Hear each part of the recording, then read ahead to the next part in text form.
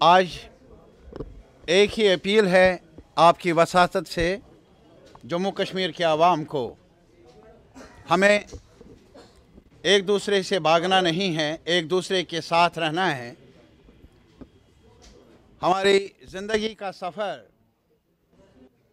وہ کل بھی، آج بھی اور آنے والے وقت میں بھی ایک ہی رہے گا، ایک ساتھ نبھانے کا رہے گا۔ کچھ عناصر ہیں۔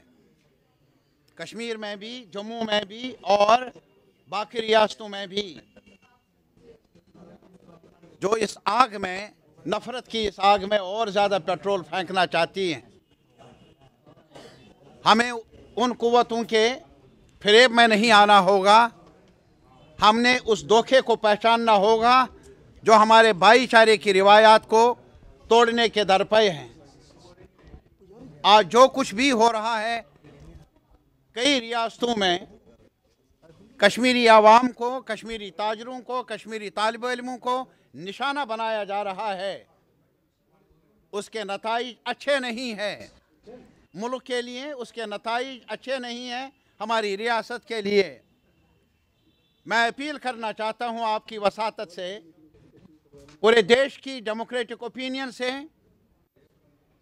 جو ہمارے انٹلیکچولز ہیں سول سوسائٹی ہیں ان سے اپیل کرنا چاہتے ہیں ہم کہ وہ زبان کھولے، آگے آ جائے۔ ایسی قوتوں کو لگام دینے میں سرکار کو مجبور کرے۔ جو قوتیں یہ چاہتی ہیں کہ عوام میں نفرت پھیلیں عوام ایک دوسرے کے ساتھ الجھ جائے اور اصل مسائل باہری رہیں، نظر سے دور رہیں۔ پرائم منسٹر آف انڈیا کو اب ایک وہ پورے ملک کا پرائم منسٹر ہیں اور اس وجہ سے ان کو اپنی ذمہ داریوں کو سنبھالنا ہوگا۔